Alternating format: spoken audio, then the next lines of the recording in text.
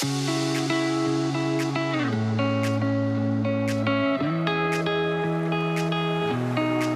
back to Inner Warm Up, where your inner work begins. My name is Taylor Elyse Morrison, creator of Inner Workout, and you, as always, are our expert guest. Thank you for being here.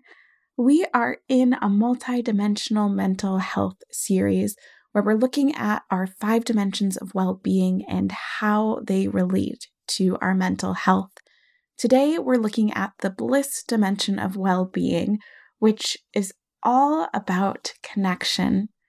The three subdimensions are being connected to yourself, the truest piece of yourself, the essence of yourself, being connected to community, and being connected to something bigger than you, whether you do that through spirituality or religion or being in nature. But that connection is really vital to our, our overall well being and definitely specifically our mental well being. When I was researching for my book, I stumbled across the fact that we live in I will say we, as in me living in the United States, I live in the most individualistic society in the world. And even though I was exposed to beautiful examples of community growing up and have continued to experience that throughout my adult life, the water that I'm swimming in, so to speak, my socialization is to be hyper independent. And I noticed this spilling over into our conversations about mental health and self care and personal development. The tendency that I see is for us to put everything on the individual. And in some ways, I get that. We started out this series by talking about choice, right? Like, what is the choice that we have? what are we able to do and to control? I get that.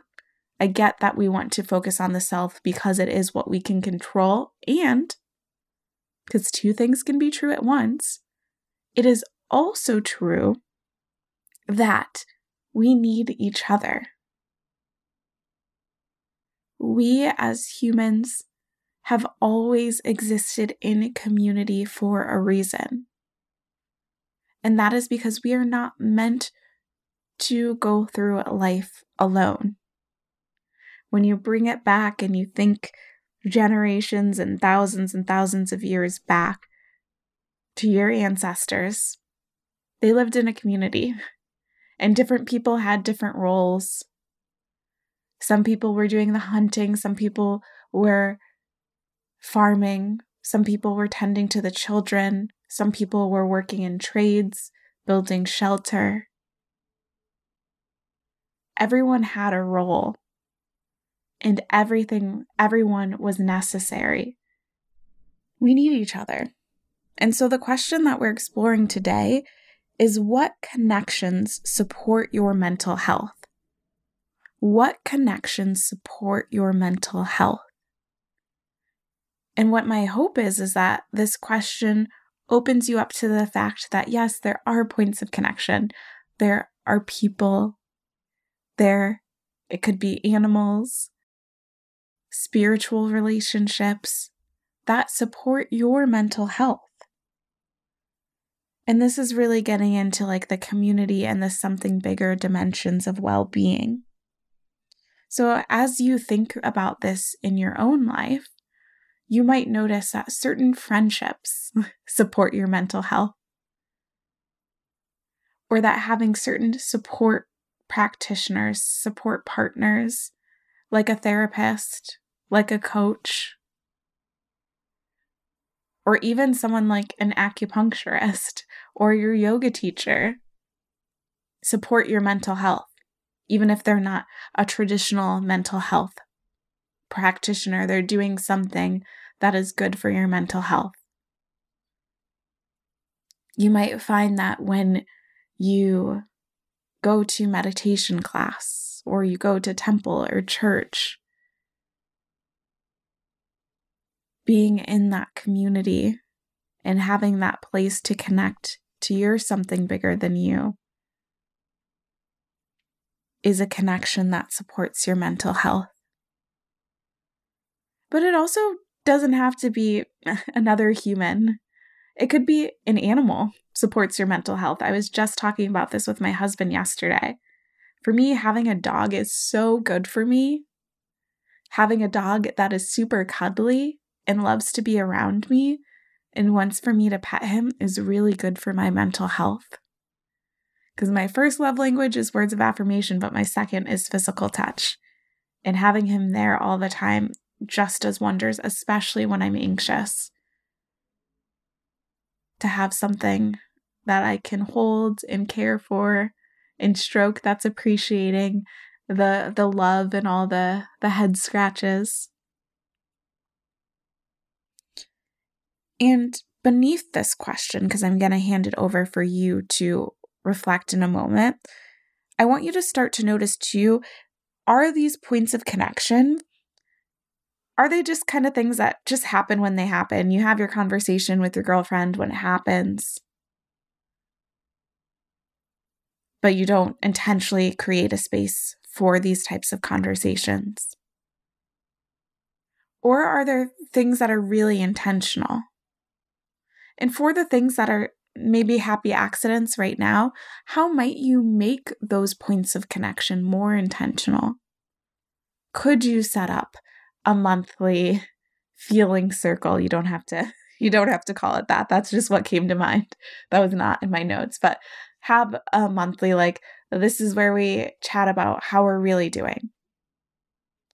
Or being proactive about seeking out a therapist, even though everything feels good right now, but knowing that this is a move to sustain you for the long haul.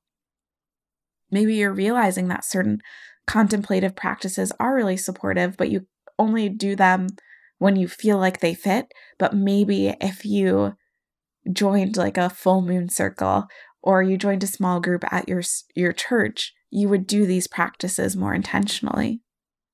So I want you to think about that. Yes, like answer the surface level question of what connections support your mental health, but then think about how you can make those con- connections more intentional instead of just, oh, they happen when they happen.